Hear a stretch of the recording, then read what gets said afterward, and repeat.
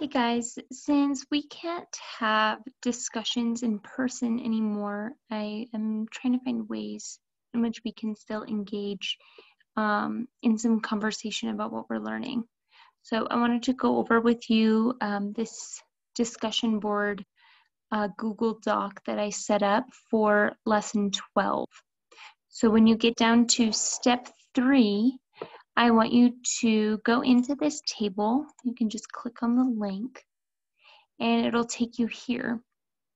And the um, intention of this discussion is to check with your classmates and see what kind of information they'll need in order to make the decision um, that you're building your app to, um, to decide on.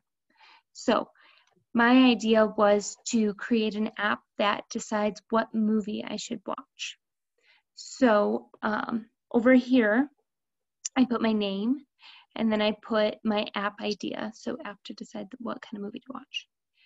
And then um, what would happen, what I want to happen over here is for everyone to write down different suggestions of what kind of information I'm going to need.